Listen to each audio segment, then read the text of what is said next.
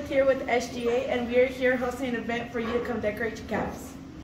Students were able to use all sorts of different arts and craft materials in order to decorate their caps with something important to them. Hey, my name is Cynthia. I go by C.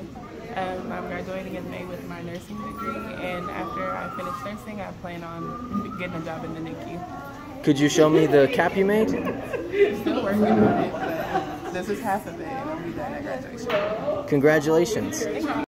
Once they're finished decorating, these badgers can wear their graduation caps on May 13th. Congratulations to all this year's graduates from all of us at the Ranger. My name is Daniel Antillon, reporting to you for the Ranger.